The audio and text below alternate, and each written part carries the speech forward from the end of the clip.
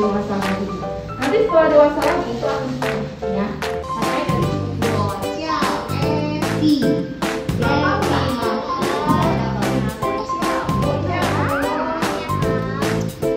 Thank you.